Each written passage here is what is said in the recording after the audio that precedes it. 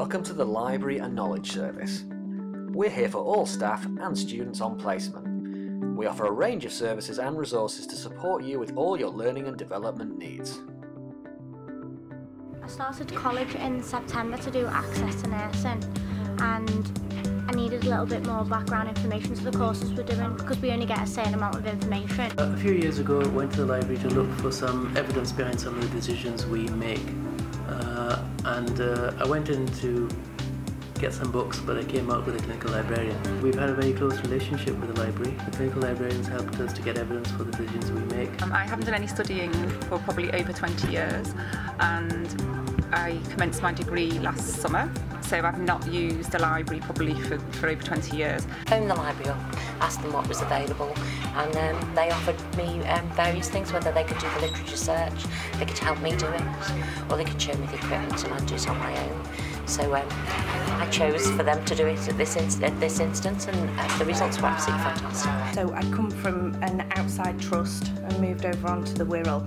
So when I got here I didn't know anybody or anything or any of the systems so the libraries had a lot to do with me finding my way around. It's been absolutely fantastic. I mean, I'm, I'm based working on critical care and I'll be busy on the ward looking after patients there, being involved in the ward around there, and it's very difficult to then find time to come away and sit and do a, an evidence of full full search. It's fantastic. It's absolutely fantastic. It saves me a huge amount of time. It's very easy to access. They're very efficient. Because it's through email, you know exactly when they're going to get back to you.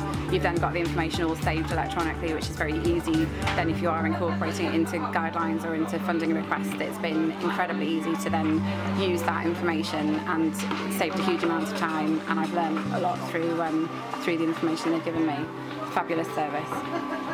They can um, do the search for you, they can get all the pieces of literature that you need, um, and there's, you know, there's massive resources in there. Excellent service. In the library, you've got plenty of space, you can sort of get your head down in your own work. Um, I like, I quite like the fact that there's little sort of divisions in the desks as well, so you do sort of feel like you can sort of just get in your own little world.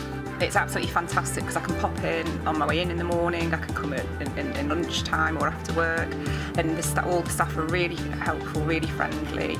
It's been really useful because the books are at hand, you know, you, if you need to renew them, you can renew them online and stuff like that, so you don't have to keep on bringing them back and hauling 12 books back at a time.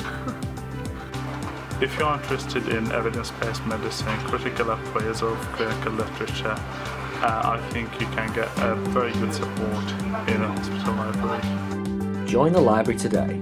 Search library on wuth.nhs.uk.